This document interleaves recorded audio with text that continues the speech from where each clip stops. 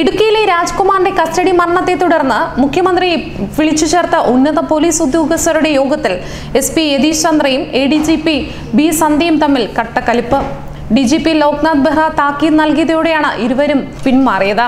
പെരുമ്പാവൂർ ജിഷ വധക്കേസിലെ പ്രതിയെ പിടികൂടിയപ്പോൾ അത് ശരിയാണോ എന്ന് ചോദിച്ച റൂറൽ എസ് പി ആയിരുന്ന തന്നെ പലരും വിളിച്ചു ചോദിച്ചെന്ന് ഇപ്പോൾ തൃശൂർ സിറ്റി പോലീസ് കമ്മീഷണറായ യതീഷ് ചന്ദ്ര പറഞ്ഞതാണ് സന്ധ്യ ചൊടിപ്പിച്ചത്.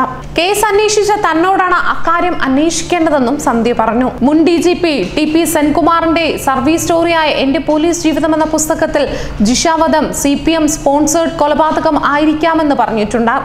നിയമസഭാ തെരഞ്ഞെടുപ്പിന്റെ മൂർധന്യത്തിലാണ് കൊലപാതകം നടന്നത്. അന്വേഷണ സമയത്ത് ഉദ്യോഗസ്ഥ ഓഫീസിൽ വന്ന് മൂന്ന് തവണ ഇതൊരു സി പി എം സ്പോൺസർ കൊലപാതകം ആയിരിക്കാമെന്ന് പറഞ്ഞിരുന്നു. അപ്പോഴെല്ലാം അതെങ്ങനെയാണ് സംഭവിക്കുക എന്ന് തിരിച്ചു ചോദിച്ചു.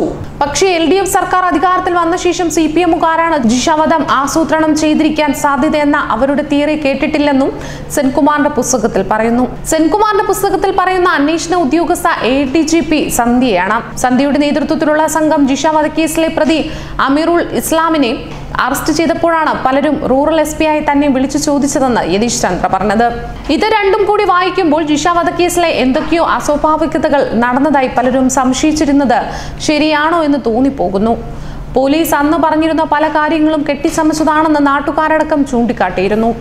ജിഷയെ കൊന്ന ശേഷം അമറുൾ ഇസ്ലാം തൊട്ടടുത്തുള്ള കുളിക്കടവിൽ എത്തിയിരുന്നെന്നാണ് പോലീസ് പറഞ്ഞിരുന്നത്. പോലീസ് പറഞ്ഞ സമയത്ത് നാട്ടുകാരിൽ ചിലർ അവിടെ കുളിക്കുന്നുണ്ടായിരുന്നു. അവരാരും അമീറുൾ ഇസ്ലാമിനെ കണ്ടിരുന്നില്ല.